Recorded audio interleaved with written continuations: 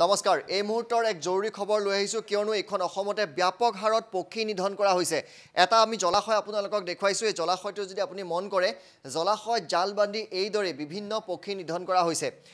আপোনালোকে ভালকৈ যদি মন কৰে এইটো এটা পক্ষী আৰু ইয়াক ইতিমধ্যে জাল পাতি ধৰা হৈছে এইদৰে। কেৱল এটা নহয় বিভিন্ন পক্ষীক এইদৰে জাল পাতি নিধন কৰা হৈছে আৰু এই পক্ষীসমূহ বজাৰত বিক্ৰী কৰা হয়।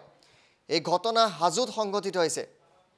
এই ঘটনা হাজোত সংঘটিত হৈছে এটা দুটা পক্ষী নহয় ব্যাপক হাৰত এই পক্ষীসমূহ নিধন কৰা হৈছে।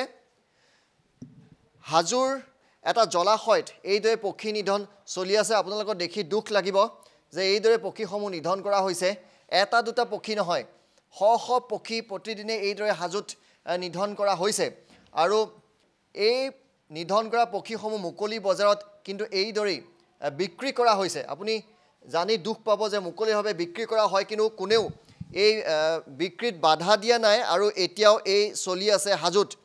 ব্যাপক হাৰত এইদৰে পক্ষী নিধন হৈছে হাজোত। আমি আপোনালোকক সেই দৃশ্য দেখুৱাম কিদৰে হাজোত পক্ষী নিধন কৰা হৈছে।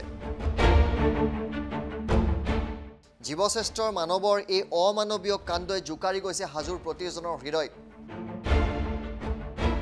এয়া হাজোৰ কোৱাৰপুৰ দক্ষিণ শিঙৰা গাঁৱৰ চৰকাৰী ভূমিত থকা এটা জলাশয় য'ত এইদৰে অগণন পক্ষী নিধন কৰা হৈছে। এই বনৰীয়া পক্ষীসমূহ নিধন কৰি চোৰাং বজাৰত বিক্ৰী কৰি আহি থকা হৈছে।